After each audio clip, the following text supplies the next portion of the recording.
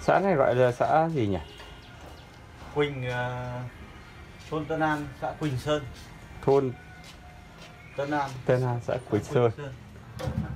Đúng vâng. Huyện gì nhỉ quên huyện Yên Dũng. Yên Dũng đúng không? Thôn Tân An xã Quỳnh Sơn huyện Yên Dũng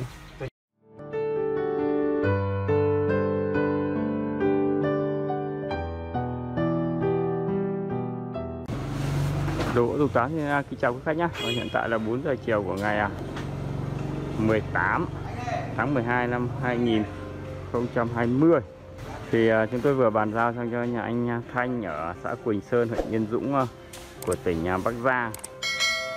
Vâng, một lô sản phẩm như sau. Ở đây trên hình ảnh quý vị đây là ở nhà anh Thanh đây ở xã Quỳnh Sơn, huyện Yên Dũng, tỉnh Bắc Giang. Chứ, chứ thế là Thanh nhỉ? Nhỉ? Còn đây à, quý vị cùng tôi vào nhà để à, tham khảo bộ sản phẩm tôi vừa bàn giao cho nhánh Thanh nhé, xã Quỳnh Sơn, huyện Yên Dũng này, tỉnh Bắc Giang. Đó là một bộ trường kể bằng gỗ lim xanh của Nam Phi và một chiếc kệ tivi à, chất liệu gỗ đỏ gỗ đỏ và chiếc kệ là chúng tôi làm gỗ mẫu gọi là mõ đồng tiền còn trên này hình ảnh quý vị nhìn đây là bộ trường kể chung nhá trường chung kích thước là 2 mét mặt 46 hơn chất liệu gỗ Nam Phi. Hương à, vân veo là rất là đẹp. Mặt là liền một tấm hết. Đường dây chạm là mẫu tứ quý.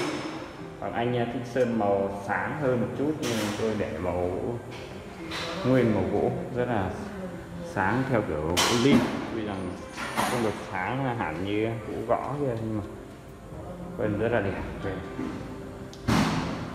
chiếc kệ tivi loại 24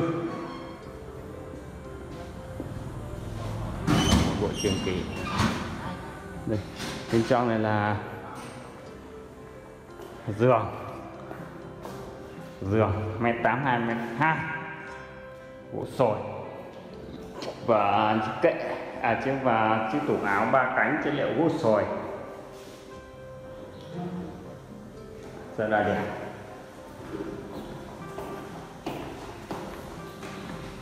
Thì các bác nào có nhu cầu sở hữu bộ sản phẩm như nhà anh Thanh ở xã Quỳnh Sơn à, à huyện Yên Dũng tỉnh à, Bắc Giang này xin liên hệ cơ sở đồ gỗ Tùng Tám nhé cơ sở này nằm tại xã An Phú quận Cẩm Khê tỉnh Phú Thọ.